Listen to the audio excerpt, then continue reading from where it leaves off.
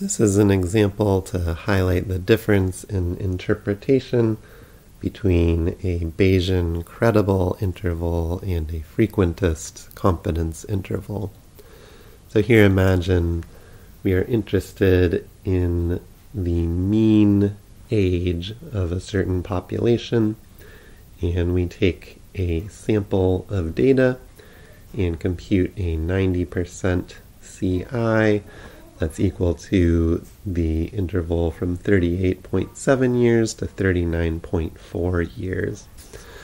So first, if we think about this from the Bayesian perspective, this is saying, given my beliefs, I believe there's a 90% chance that the true population mean is somewhere between 38.7 and 39.4.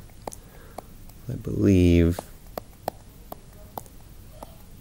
this true mean is in this interval uh, with a 90% chance. And here, believe is this posterior belief that's a combination of your prior beliefs and what you see in the data.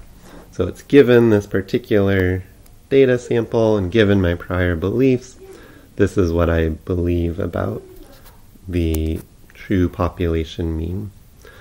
In contrast, if we think about a frequentist confidence interval, that means from the before sampling perspective, so if I back up to before I took the sample, it would say I'm constructing this interval using a procedure such that before sampling there's a 90% probability of the true mean being inside the interval.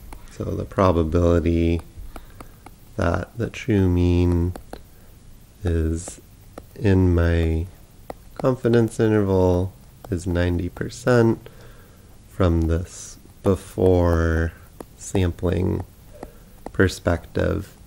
And again, if it helps intuition, we could think of this also in terms of repeated sampling, where if I were to keep taking other samples and getting other confidence intervals within each sample. Then if I did that, say, 100 times, we would expect around 90 of the confidence intervals in those 100 samples to contain the true mean. So even if we have a CI with the same 90% level and the same numbers, there's still a big difference between the interpretation of those numbers from the Bayesian perspective and the interpretation from the frequentist perspective.